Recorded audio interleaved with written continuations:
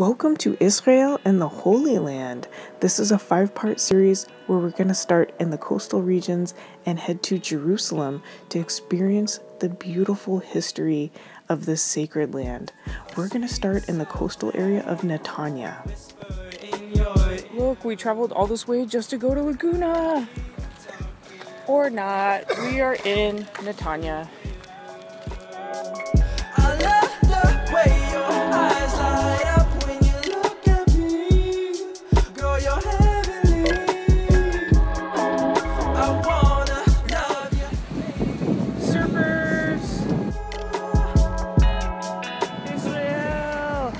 Netanya. This is a beach resort.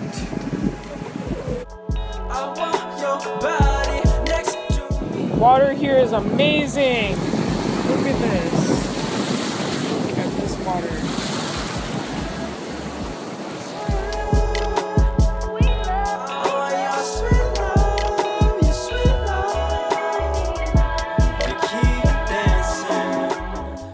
We travel up the coast to see the Caesarea National Park and designated UNESCO World Heritage Site.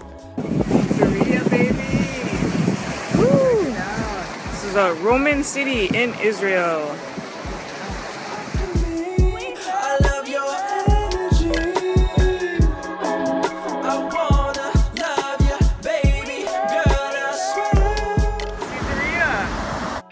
These are the remains of the ancient city of Caesarea, built under King Herod in 22 BC.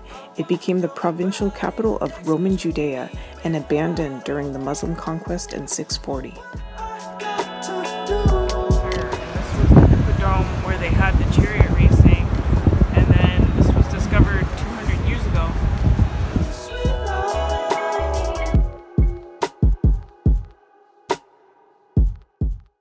Imagine 125,000 people living in this city during the time of King Herod. In fact, the aqueduct still remains, which brought water from Mount Carmel. So, when the Romans came here, they built palaces and they also built swimming pools. They had a cistern under here, and that's a real swimming pool. Now we head north to Haifa. This is the third largest city in the state of Israel with a 3,000 year old history and known for its stunning Baha'i gardens. Okay, I just made it to this beautiful garden in Haifa. Check out this view, it's so beautiful. And the tip over there is Lebanon, the white area. The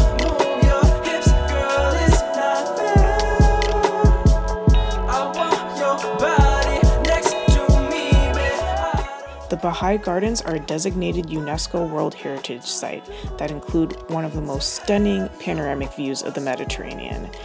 They include 19 terraced gardens that cascade nearly a mile from Mount Carmel all the way down to the city down below.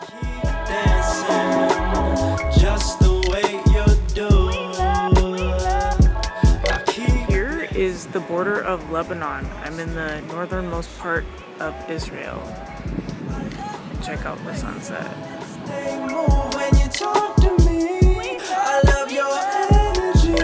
I'm so tempted to cross. Ah, eh, Where are we? April.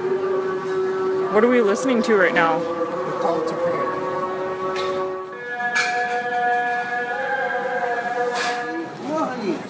You get the money, I give you honey. If you don't get me money, I don't give you. The old city of Acre is the northernmost port in Israel. It's a designated UNESCO World Heritage Site, and the historic walled port includes the remains of a crusader town dating back to 1104 and we barely scratch the surface of this amazing place. Follow us as we journey through our installments of Israel, including the Sea of Galilee and Jerusalem.